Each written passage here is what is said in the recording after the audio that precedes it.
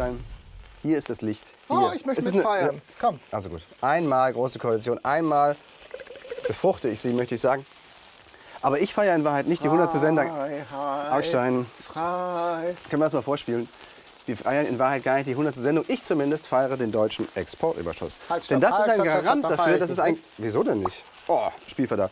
Das ist ein Garant dafür, dass es Europa gut geht. Mhm. Denn immerhin, weil die deutsche Wirtschaft so stark ist, können wir auch diese ganzen Schutzschirme bezahlen, zum Beispiel, und dafür haften. Und haben noch so ein AAA, weshalb Ist irgendwie... Ihnen das vielleicht schon mal in Ihr äh, Kopf gekommen, wenn Sie die zweite Gehirnzelle auch anschalten, dass das wir wegen dieses ähm, Exportüberschusses mitbeteiligt sind an der Krise. Denn die Krise, ja, das ist aber ehrlich gesagt auch nichts Neues. Wenn Sie ein bisschen Zeitung mal früher gelesen hätten, dann hätten Sie das schon wissen können. Mit den lustigen Inzwischen Buchstaben da drin? sagt es die EU, es sagt auch der amerikanische Präsident, Oh. es sagt der IWF. Das sind ja Top-Absender. Es sagen, ja, ist doch der Ökonom Hans-Werner Sinn, der jetzt auch, auch nicht so ein ganz starker Linksextremer Hans-Werner ist. Sinn. Die Krise ist Eine Wunderkerze auch, auf Hans-Werner auch Sinn.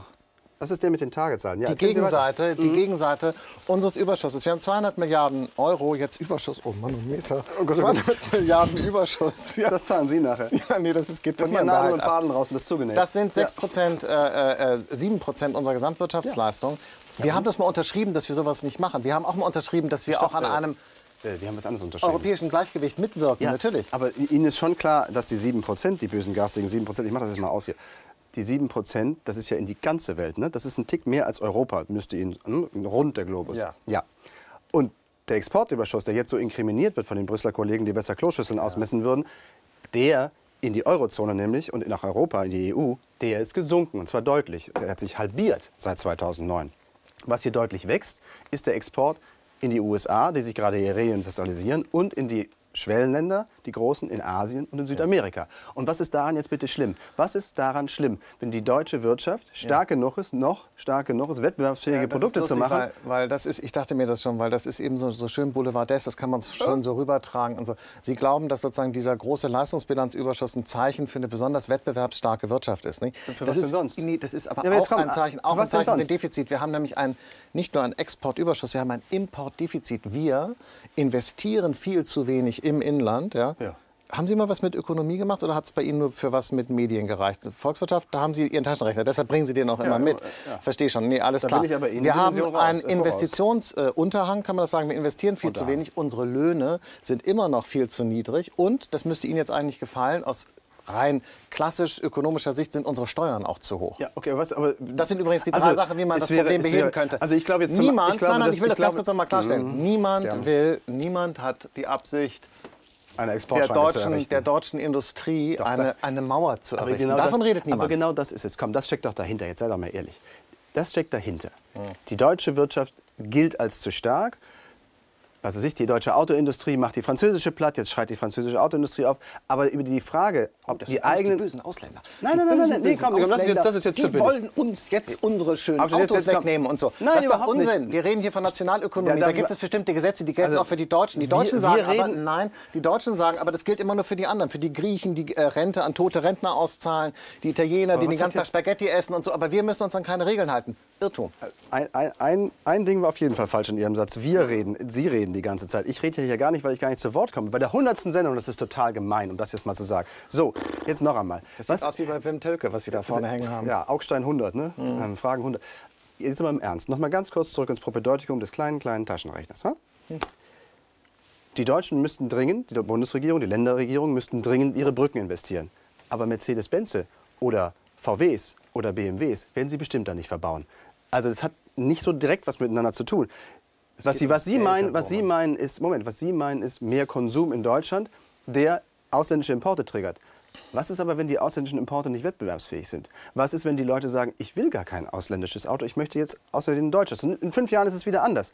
Ich will gar kein ist ja ausländischen... Sie haben das ja wirklich nicht verstanden. Das ist ja lustig. Ich dachte, Sie machen Witz, aber die Wahrheit ist, Sie haben es ja echt nicht geschnallt. Also pass auf, jeder Ware steht auch eine Geldsumme gegenüber. Wir exportieren nicht nur Waren, wir exportieren ja auch Geld ins Ausland. Der Witz ist, dass wir es im Inland behalten. wir, wir, wir geben das Geld gleich mit? Ja, natürlich, das tun wir letztlich, weil wir ja praktisch, weil äh, äh, Sie sehen doch aus wie ein Autohändler. Sie müssten sich das eigentlich vorstellen können. Also pass auf, stellen Sie sich vor, der Ein Autoverkäufer in Alicante. ja, und der kauft jetzt ein Auto, äh, deutscher Bauart, Verkauft. jetzt die Marke nicht Verkauft nennen. an einen- ja, ver ja. Naja, an jemanden, der sich das im Prinzip aber gar nicht leisten kann. Der leiht sich das Geld von der Bank. Ja. Die Bank gibt ihm das auch gerne. Und dann kann er den Kredit nicht zurückzahlen. Die Bank geht pleite. Was passiert? Wir retten Ja. die Bank. Das Darf heißt, wir bezahlen ich- es im Prinzip alles Beispiel, selber. Darf ich das Beispiel einmal verlängern? Gerne. Ähm, also der Typ, der sich das Auto nicht leisten konnte, Mhm. Ähm, der ist jetzt, der nimmt also einen Kredit auf, den er in Wahrheit nicht bezahlen kann. Also er verhält sich doof, um es mal ganz platt zu sagen. Ja? Mhm. Jedenfalls jetzt macht er sagen, das. Jetzt sagen wir, okay, meinetwegen, dann liefern wir dem keine Autos mehr, damit er nicht irgendwie falsche Dinge damit macht. Dann ist er aber immer noch doof. Der kriegt zwar jetzt kein Auto mehr von uns, aber doof ist er immer noch, oder? Und was kauft er dann? Dann kauft er irgendwas anderes, was er sich nicht leisten kann. Dann steht das genau dasselbe Problem. Das hat doch nichts ursächlich mit den deutschen Exporten zu tun. Oh Es geht darum, dass wir das Geld hier im Inland ausgeben für Investitionen und für Löhne. Das ist, das, das ist sozusagen die Antwort auf Ihre Frage. Und, das wenn- betrifft nicht und nur die- Europa, es und betrifft auch Leute- die und wenn USA und, Leute- Asien. Die Und sind mir die- aber ehrlich und gesagt die nicht Leute, so wichtig. Also erstens mal sorgt ja auch die deutsche Exportindustrie, wenn sie denn wächst und weiter stärker exportiert, für Importe, nämlich in Form von Vorprodukten. Ja, in jedem deutschen Export komischerweise Stopp, in jedem deutschen Exportgut hält, liegt, steckt zur Hälfte vorherige Mhm. Importe von Vorprodukten. Also das hat auch was miteinander zu tun. Wenn die Exporte steigen in Deutschland, dann steigen die Importe immer auch mit. Es gibt den Saldo, den Überschuss, da haben Sie völlig recht.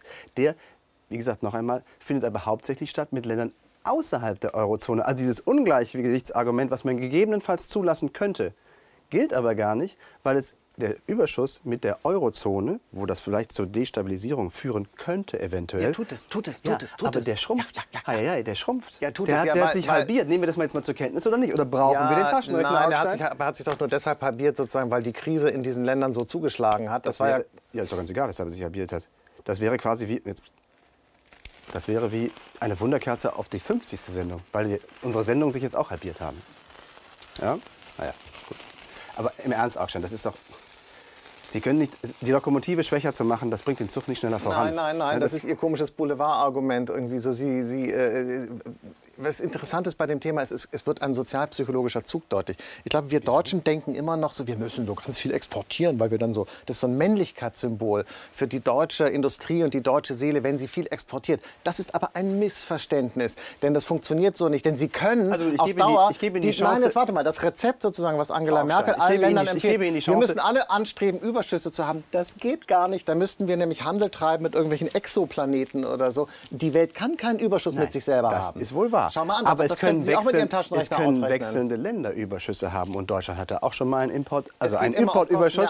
Und in Europa Nein. sollten wir das nicht anstreben. Ich in finde, Europa ich finde, ausgeglichene Handelsbilanzen hieße vollständig gleiche Wettbewerbsfähigkeit. Das werden Sie niemals herstellen. Das können Sie nur durch Zwang herstellen. Und das wäre Quatsch. Ach was, ich habe Nein. dazu keine Lust mehr. Ich werde jetzt hier mal als- als Strippenzieher mich hier mal betätigen. Als Strippenzieher? Als Strippenzieher mich mal betätigen. Also das, also was, wir feiern die tatsächlich, 100, haben ja gesagt. Aber auch schon, es tut mir 100. leid, sagen zu müssen, in dieser Sendung waren Sie die Null und was die Doppel-Null ist, das sage ich jetzt Sehr nicht. witzig. Wir feiern den 100. Geburtstag der Sendung und übrigens auch von Willy Brandt, nicht? der vor 100 Jahren geboren wurde. Geboren wurde, ein großer, Im großer gleichen Mann. Jahr als äh, August Bebel starb. Aber Sie wollten eigentlich auch noch über Wulff reden. Und die Frage, ob es mal wieder die Medien waren, die den Mann gehetzt haben, wie er vor Gericht jetzt gesagt hat. Er hätte sich Ja. gehetzt gefühlt und so weiter. Und Sie sind ja der Meinung, der Prozess ist ich überflüssig. Ich, gar finde nicht. es nicht. Das Mitleid mit Wolf, das habe ich jetzt eigentlich nicht. Ich finde aber, dass äh, ich habe nicht so genau verstanden.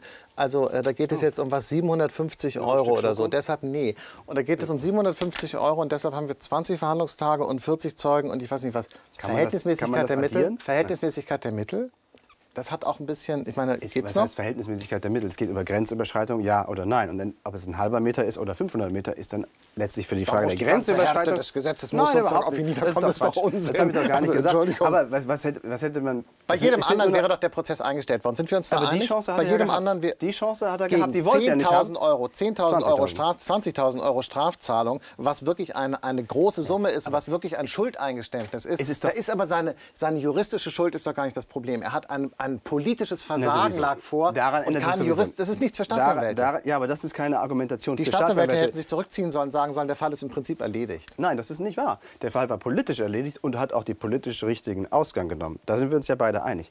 Aber juristisch war er eben noch nicht erledigt. unwürdig. Und es ist genauso unwürdig wie dieser Quatsch, ob ihm jetzt nun dieses, dieses, äh, dieser Ehrensold dazusteht oder nicht. Das ist doch unwürdig. Der Fall ist erledigt. Er war ungeeignet für aber das Amt. Er ist- ist unwürdig ist zurückgetreten. keine- damit ist der Fall erledigt. ja, finde ich, finde ich nicht. Unwürdig ist nämlich keine Kategorie für die Juristerei. Die muss schon nach ihren Regeln gehen, damit Tut sie ja nicht. Bei, Damit ich, sie, bei bei Ihnen oder mir hätte man das Verfahren, nein, bei Ihnen vielleicht nicht, aber bei mir hätte man das Verfahren eingestellt. aber nur, weil man keine Lust hatte, sie vor Gericht reden zu hören. Prost.